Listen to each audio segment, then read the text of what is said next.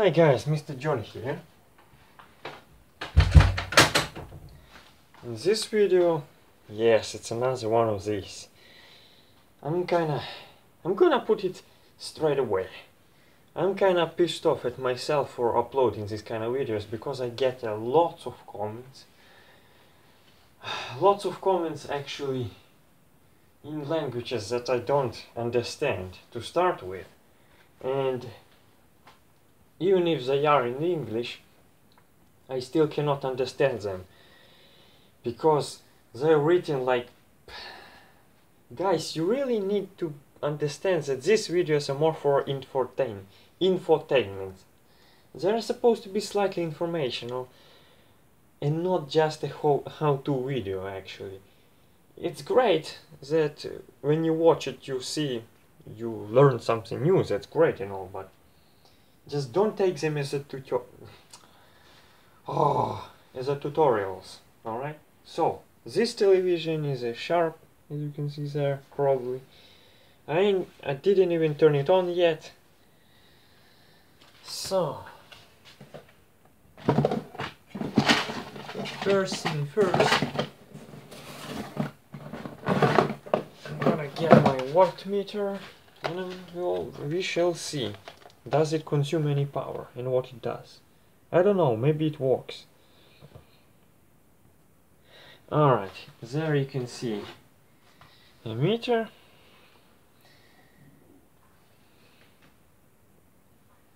With a stupid glare on it. Alright, fine. Now, the watt meter is right here, dangling on the wire. I'm gonna use regular range, which has an 8 amp fuse on it. I'm gonna turn it on trying to trying not to destroy my anonymity because if some of if only one from my local asshat gonna know that I'm doing this I will have a hard time explaining stuff like that alright cool. You saw a spike, right? A spike of power. Right now the scale is 1. What you see, the number you see there is directly in watts. So right now it is about under 10 watts and you saw a spike which is rather large. What that was? That was nothing but a degauss coil and it is still powered through a ZPTC which I can even show you. Again trying to I'm gonna just pause. Okay PTC looks like this. That's a part we are talking about.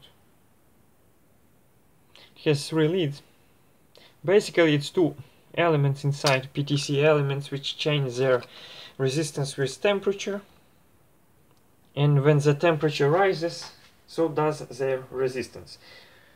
Now we don't see oh we do see actually.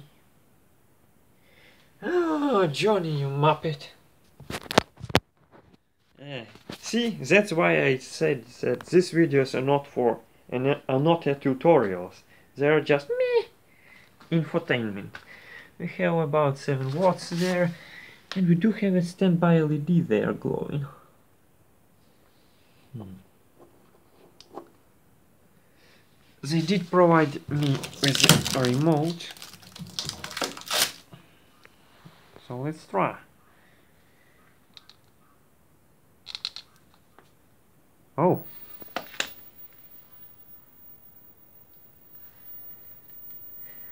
All um, I, I, I, I, I, I am very disappointed I'm gonna keep an eye on power because I can see straight away we have some retrace lines are they? Yes, they are. They are slanted lines. That's what they are called. Mm, power seems normal for this size of a TV. But see, check out the screen, alright? See these lines? They go from right to left and they slope down. these are called retrace lines. Normally, they should be unvisible for you when the set is tuned properly and it doesn't have problems. There is a um, part of the circuit called blanking circuit which makes sure you don't see those retrace lines but I do. It can also happen if you make the if you put the brightness control too high the, the remote uh, the remote is gunked up. It doesn't really react. Now it doesn't even want to turn on. That's awesome. But we have a problem that I can fix because it's a real problem not just intermittent rubbish which I hate. Channel controls are just missing. Awesome. See? Picture is just pressed in all very hard. So. Alright I already made a fool of myself but I'm gonna proceed I'm gonna pop the car off and we shall see what is waiting for us inside. Alright, I took the screws out and yeah, I kinda kinda wanted to say what can be a reason. A reason can be too high screen voltage. Screen is a grid, one of the grids on the tube. The tube is picture tube. Let's pop the cup. Oh boy, it's tight. Trying to not poke my fingers inside and get a nice low zap. Come on. Oh, why does it always have to happen?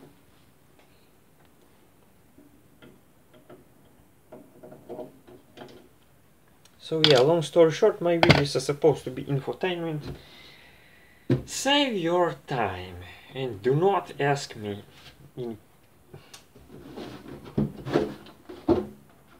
especially do not ask me how to how to fix your TV especially if you don't if you can't really if you can't explain the problem because some comments I receive are just my TV have no picture but there is sound. Alright, good for you. You don't see ugly faces on the screen. I, I can't tell what's wrong. There are a million of, of possible problems. So, I did not discharge picture tube yet, so I have to stay away from the circuit but what I'm gonna do now is to just give a quick glance at the board. The board looks moderately dusty if you ask me. It looks like some ay ay ay bumped my, my head into this edge. Not pleasant looks like somebody's been there because the chip you can see that big ass 1.27 millimeter pitch plastic dual inline package has uh, somebody wiped the dust off of it. So somebody's been there. That's for sure. Uh, it's always I do not it's like I'm gonna just probably sound like Louis Rossmann I don't get the easy stuff anymore. I just get the stuff which somebody tried to repair but failed. Oh look at that. Look at that brown capacitor. Brown big capacitor. It says Nichicon. Is it true or not? I don't know. If it's original one it might be. The transformer looks a little puny if you ask me. That with the yellow tape this I see on a heatsink which you can see which kinda resembles TDA 2050 is a vertical deflection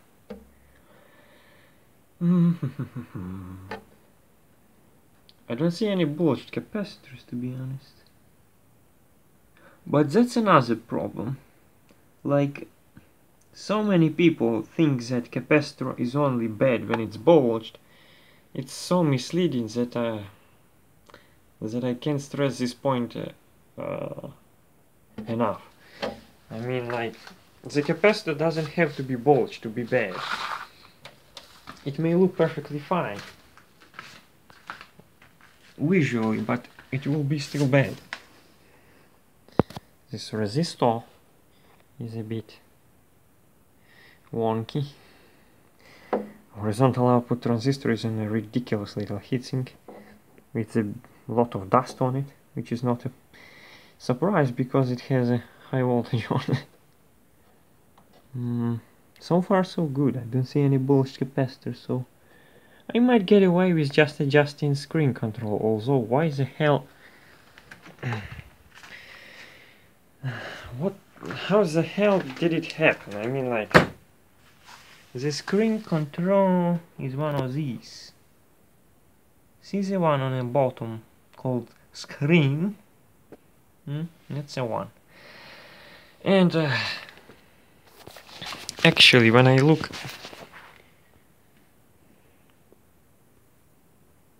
close to it. I see that the focus control is nicely sealed with dust bunnies, but the screen control doesn't look to be. So dust bunnies probably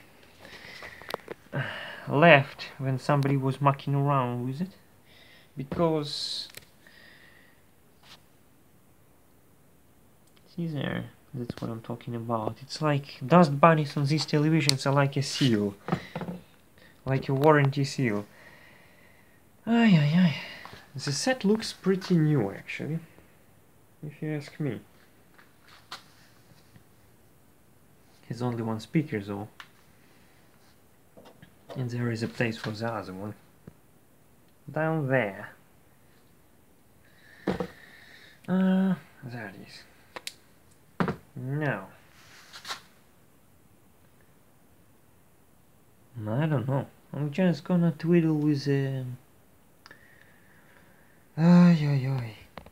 Twiddle with um, the screen control and we shall see.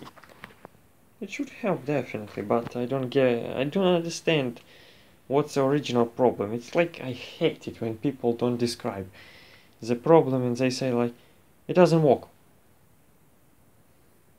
I don't know what's even worse. Commenters that don't say what's wrong with their TVs, but I don't have to fix them at least.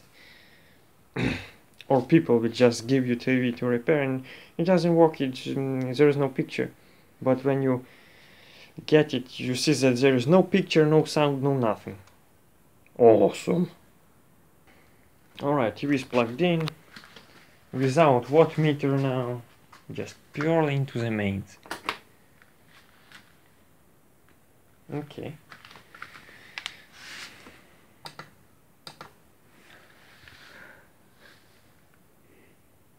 I can see the channel buttons there. Let me show you. The little tactile push buttons. If I shine the light into the right spot. Got people barging in as always, but maybe you'll be able to see a push button right there in the hole. I can't focus on it because the phone just refuses to, but there it is. I'm gonna go and try to press it because that's a channel up button usually the TV goes out of standby if I do that. Yes it does. Awesome. I can hear the horizontal. I can see the smoke. I'm kidding. Same problem. So let's let's go and trip over this bell and just put it on a screen control there and show you the result. It's so inconvenient.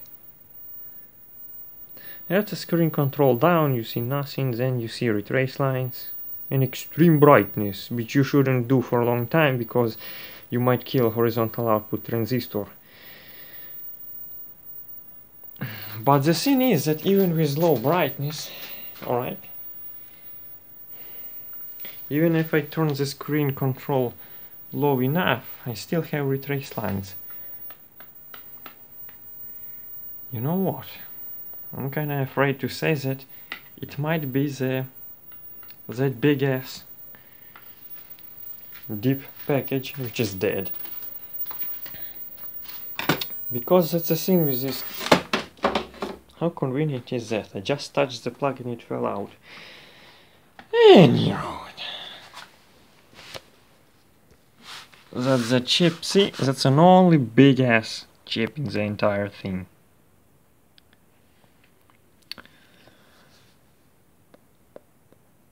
And if it's dead, the price on them, if if you can find them, the price on them is just too much for owners of these TVs and they just toss them out.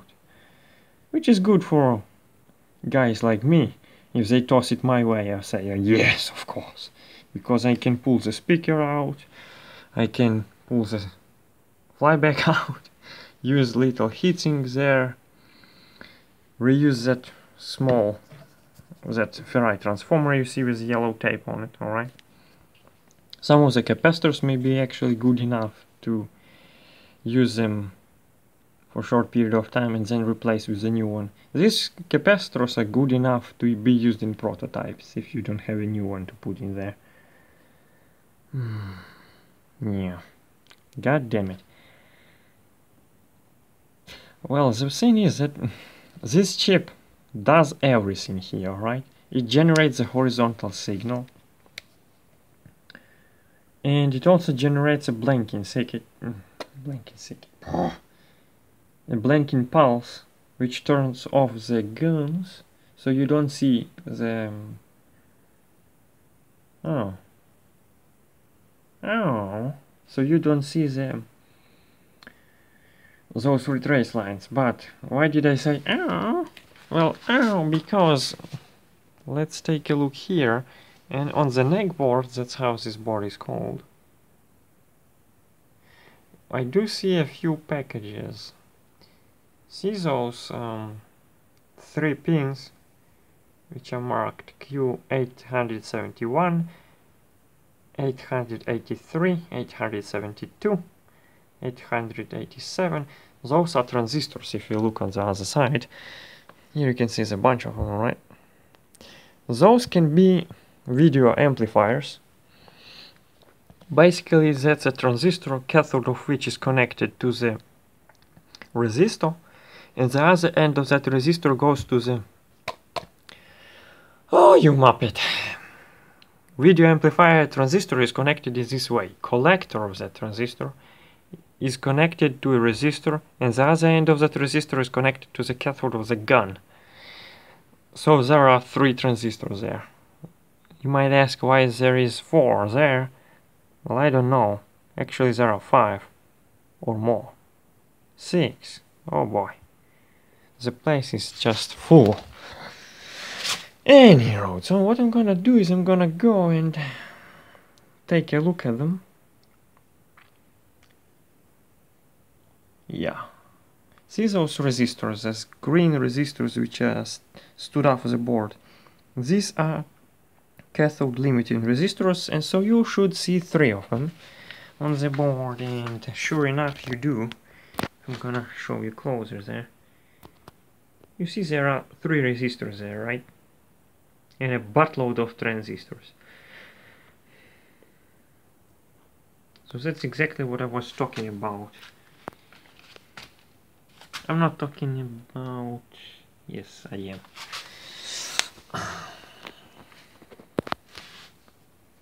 This board even has some SMD components on it.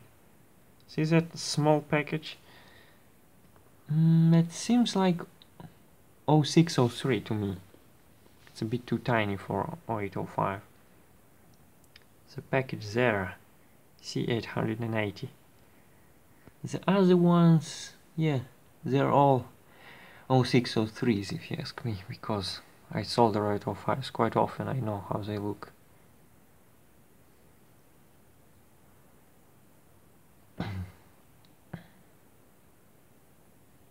Alright, so let me turn it on again and I will see. the thing is that one of the resistors, damn it, one of the transistors can go can go leaky or better yet shorted. So then you will have that gun permanently connected to ground, the cathode of that gun permanently connected to ground through that resistor, and you will see retrace lines and that color. And which color do we have there? Well, I'm gonna reckon it's a red gun doing this shebang because it looks red to me. It doesn't look so on camera, I understand that, but it's kinda reddish in real life. Let me get myself zapped. Yeah, it is really red now. So I reckon it's a red gun which is doing it. So now I need to find the red gun. Hoik. now the plug is stubborn. Get the hell out. Now I need to find the red gun there. How do I do that? Well, I look at the silk screen and and I don't find sh nothing. Yeah.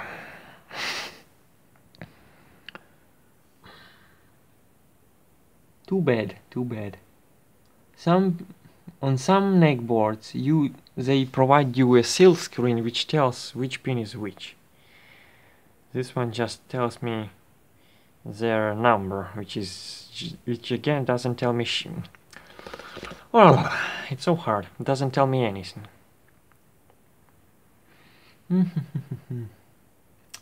Any road. So I'm gonna go and probably hoik all the transistors out Oh, yo, yo, yo. Eh, why all? I need to hoik only three transistors out to find the, the bad one. I'm not interested in hoiking all of them out. I need to hoik only three. And in that, in those three, there might be one bad, which is on the red cathode. But I don't know what red cathode is. But I do know that the transistors responsible for cathodes are connected to these resistors I shown you previously.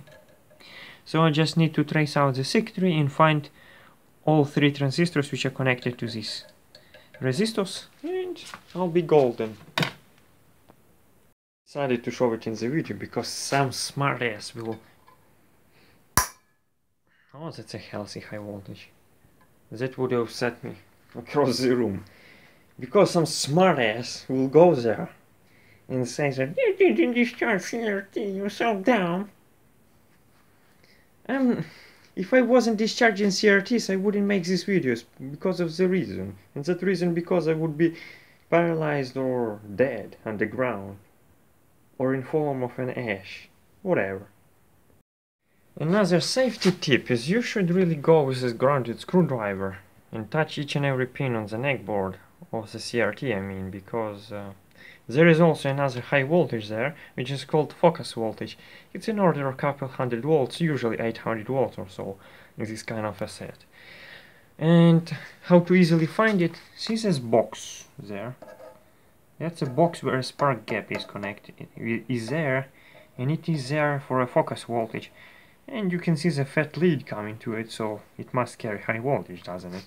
So you just go and touch it there, and I don't see no sparks, I just touched each and every one. I should be safe enough.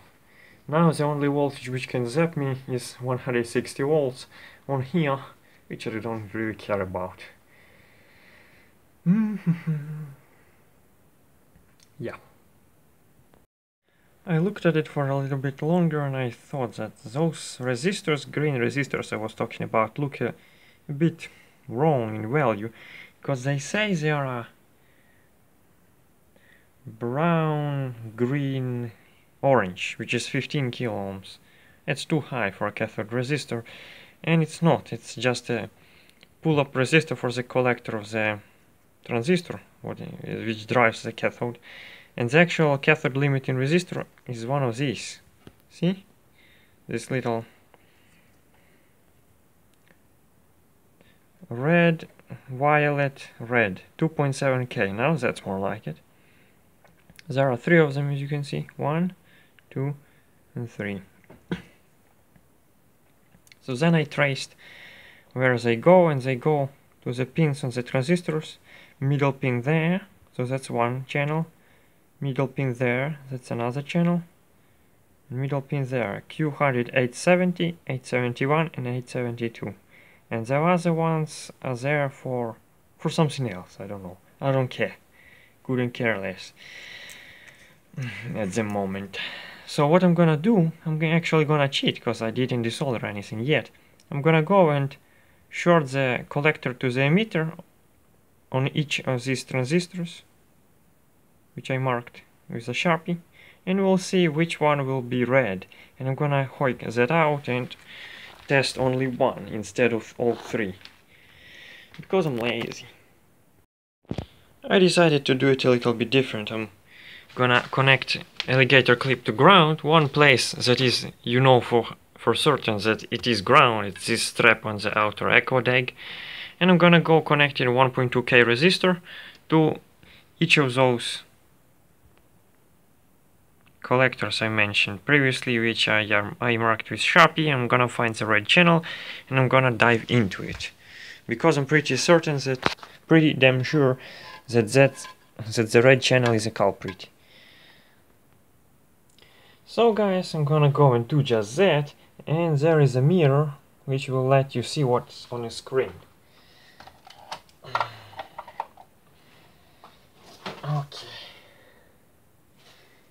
Here we go.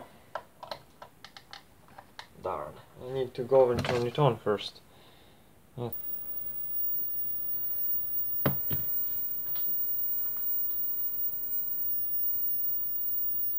Okay, now it's turned on, so you guys can see the picture there, can you? In the mirror. So, gonna just go and touch those. I need another mirror for myself probably. Oh well. So, so, so. Yes, it's too damn fine. I need another mirror for myself. Okay, got myself a mirror. Let's do that.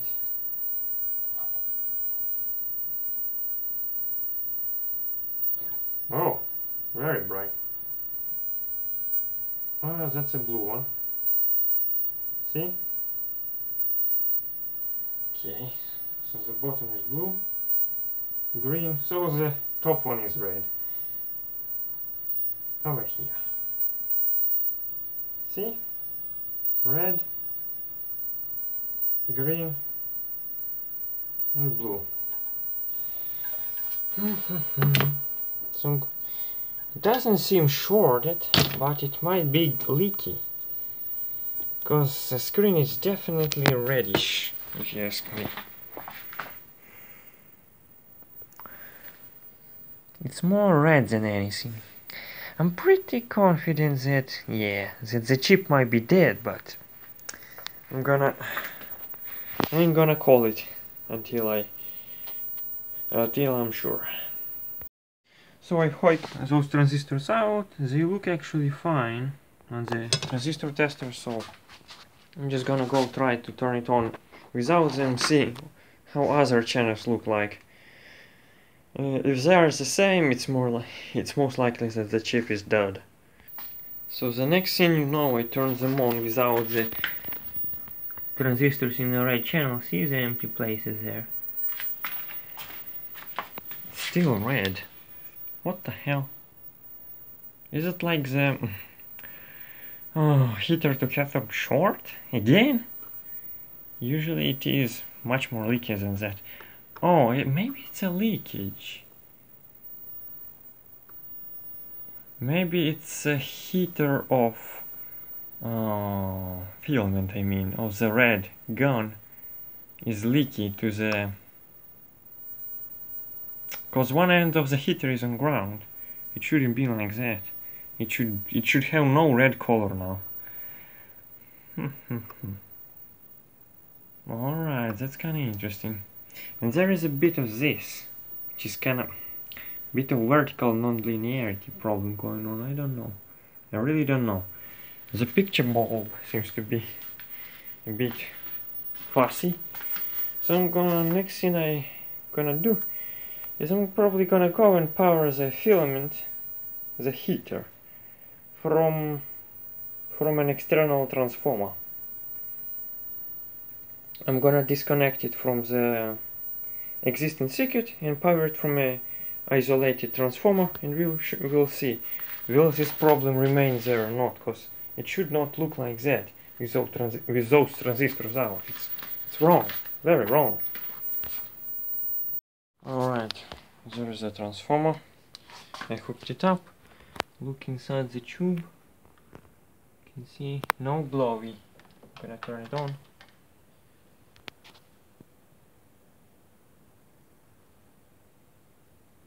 There you go. You can see that it glows. There. Here's a cord goes the transformer. Gonna turn it on now. And we'll see. Both tracks are cut and we still have the same stuff. Woo! I'm getting bored now. I'm gonna do the so guys, I was about to give up, then I searched the board for really bad capacitors, found two. This one is, was in vertical section. This one will fix that little non-linearity non problem. And found this small one in power supply section, which is made with some integrated circuit, not a transistor, that's a 5-pin package, TO220. Now this device behaves a lot different. I'm gonna show you that. Just take a look at this.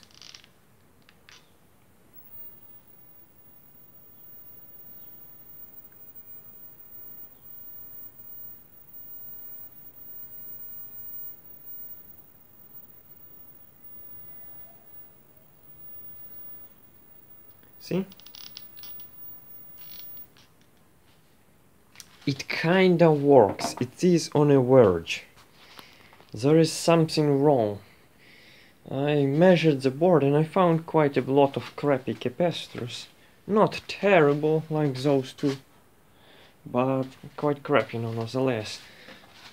But what we saw there kinda proves that this integrated circuit is alright. So it might be up to bunch of bad capacitors around it. There are these guys. This one that one or these two I don't remember for sure but there are few hundred microfarad 6.3 volt rated capacitors around and I've measured them to be meh not great at all. So I'm gonna go and swap those out maybe it will work who knows that's the first time I encounter this kind of problem. It's bizarre. And when, when you saw that when I accidentally pressed channel button, it switched to channel 1 and I then again saw the snow and some on-screen display. So that's good. That means that the chip just was closing, shutting off the guns because it didn't like something. Ripple on the power supply or maybe some incorrect voltage on the power rails. We'll see. I will swap those capacitors out and we shall see. Tada! The TV is working now. All I did is I changed few capacitors that I told you about. This for 7016 in vertical section. That improved the vertical performance.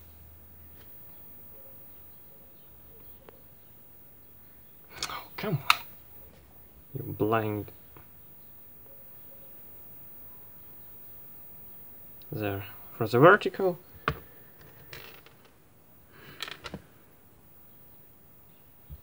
This one in a power supply so it doesn't blow up. This one near the that big chip. Same applies to this. Uh, this one near the tuner. this one near that big chip as well and now the thing works. And if I'm gonna apply turn on my camera you see that there is a picture on the screen. Well will of course no. It's pretty sharp. But the thing is that I mucked around with the screen control there and at first it was cutting out. But then when I backed the screen control off a little bit it went to normal because the so-called BCL was kicking in. BCL is stands for beam current limiter. Let me demonstrate that. If I'm gonna turn it on you will see retrace lines and see?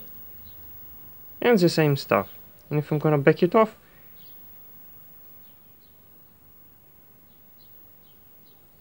See, at first it uh, it is greenish, then it kind of balances out. That is because of the auto white balance function. Actually went and used the blue screen to set the screen control, but as you can see it works. So that's that. Turn it on again. It works strobes badly but the picture is nice and sharp I'm gonna tweak it again and it will be ready for a test run and then ready to be used by the customer. Thanks for watching. See ya